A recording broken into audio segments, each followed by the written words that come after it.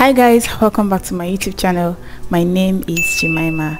So today is a continuation of the series answering questions to my professional MBBS exam question paper. Um, so I've done the one for anatomy I've done for physiology I've answered my viva questions as well. Today we are going to answer my biochemistry questions. Looking at this question paper I'm feeling nostalgic. It's well all right guys let's get on please. Um, the first question says explain how the deamination of amino acids contributes to prevention of metabolic acidosis. Hmm. One thing i love about biochemistry it's true very true. Please if you've not seen my video on how to answer biochemistry questions everything i'll say here you will not understand please go and watch that other video first. I'll put the link up for you. When you finish watching it you can now come down to watch this one so that you understand some of the slangs and stuff i'm going to say in this video. Okay? All right so um, explain how the deamination of amino acids contributes to prevention of metabolic acidosis. Um, this kind of question it depends on how you were taught in your school in my school, my biochemistry lecturers usually tell us just go straight to the point. We don't want stories, we don't want unnecessary perambulating, if you understand what I'm trying to say. So for this question, what I suggest to do is just a brief introduction which should involve deamination of amino acid. You can use glutamate for an example. What are the products of this deamination of amino acid? What are the products? How do these products combine with the secreted H plus. After you finish saying something about the oxidative deamination of amino acids, you can now say something about metabolic acidosis. What is metabolic acidosis? What causes metabolic acidosis? What is the relationship between this oxidative deamination and metabolic acidosis. You know, ammonium is involved somewhere in whatever explanation that you're giving. Mention it, how the production of ammonium helps to prevent this metabolic acidosis. That's, that's basically all.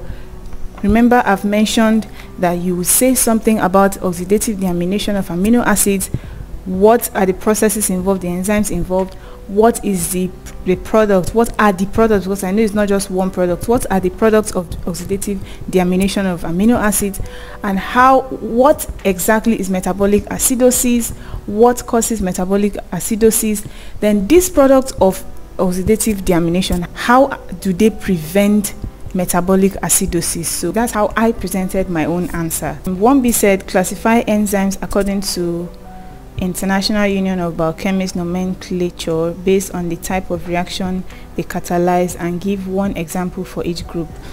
this question is very easy to get your full 10 marks. Trust me, it's very, very straightforward. You classify it according to the International um, Union of Biochemists, EC this, EC that, EC this, EC that. You list all, I think seven, oats, Oatlil. I used Oatlil, O-T-H-L-I-L so then there's an, there, there was another one that my lecturer told us about which is a tea. So i call it oatmeal tea. So anyhow that and whatever you know mnemonic that you use however you can remember all seven of them please do. For me that's what i use. So you just list it according to their ec number. After listing it you now give just one example. Did they ask us to explain anything? Okay based on the type of reaction they catalyzed straightforward no need to explain any story. You just after listing it out you just give example just one example for each group. Very very straightforward. Free 10 marks. Okay? Number two said highlight the clinical applications of protein denaturation and explain why biochemists describe some amino acids as nutritionally essential or indispensable this is a two-in-one question so let's let's address the first question the first question said highlight the clinical applications of protein denaturation. This one thing is too is kind of straightforward. They just want to know what are the clinical applications of protein denaturation.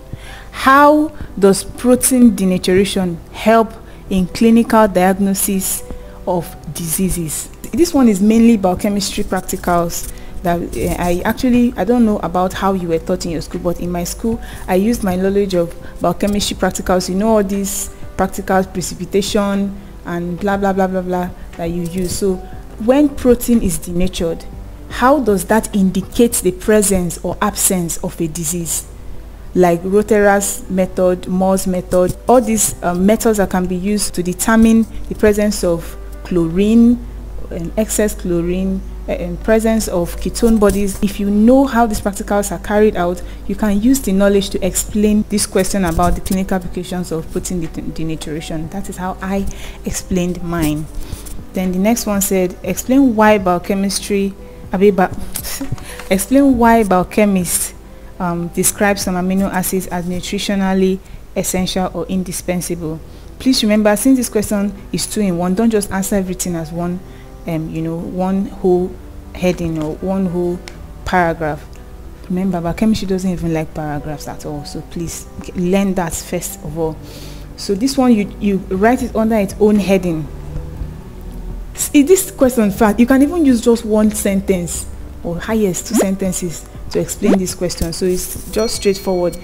Some of these amino acids can be synthesized in the body. Some cannot be synthesized in the body. So whatever explanation that you're giving rallies around that one sentence. So it's just straightforward. If you have any other story that you Googled to add, feel free to add depending on the lecturer. Some lecturers want you to regurgitate whatever they've given to you.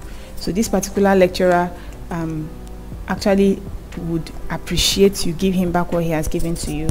So um, the 2B said, state three antioxidant en enzymes and explain how one of them prevents free radical damage. If you watched my Viva video, my explanation of my Viva question, you remember when I mentioned that I was asked this question in my general Viva.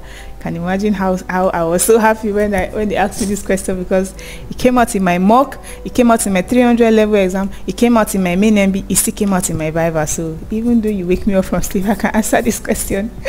so um, um, although on on the exam day I couldn't remember the third antioxidant enzyme, so that's one I think half mark or so that I lost.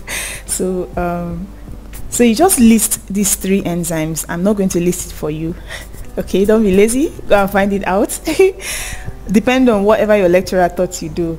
So you list these three enzymes, then explain. The, imagine, you just explain how one of them prevents free radical damage? Let me just give you a bonus. What enzyme helps to keep glutathione in its reduced form? You get so that there will be prevention of oxidative distress of the RBC.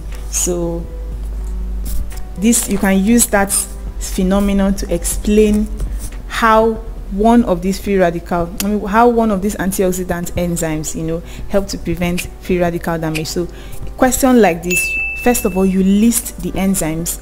After listing the enzymes you now use one of them as heading. Then you now start with what could lead to this free radical damage. You know mostly redox reactions give rise to reactive oxygen species. So you just start from there.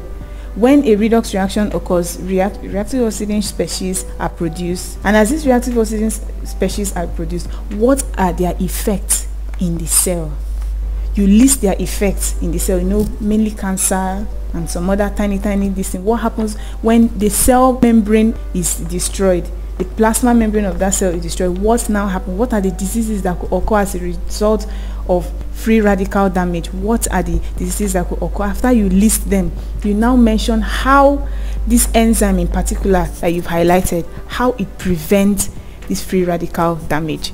Then once, once you finish doing that, I mean, you've that's how I wrote mine, by the way.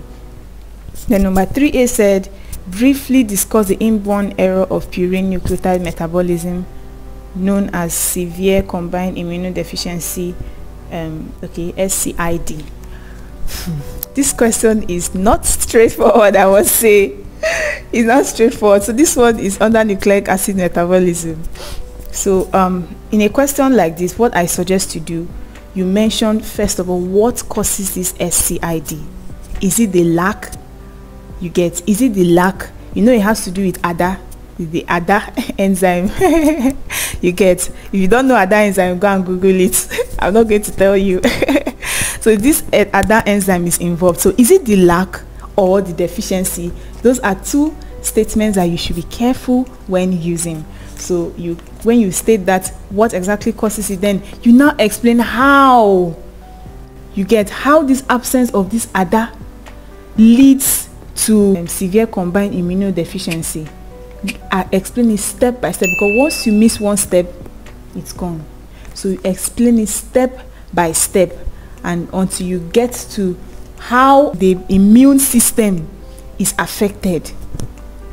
It depends on how you were taught but this is how i wrote mine in exam. So once you finish doing that how, how the immune system is affected and then what are now these symptoms these visible symptoms you can see. Remember when, when i mentioned in my biochemistry in my how to answer biochemistry questions video don't go and write physiology inside biochemistry. What the biochemistry is asking you for is a biochemical basis of this disease scid so if you go and write download all the physiology for them you're wasting your time. You're wasting your ink and you will not get the required mark for it. Number 3b said discuss obesity stating the six causes and six as usual the part two of this video and the last part of this video will be out by tomorrow. I remain your girl jemima. Bye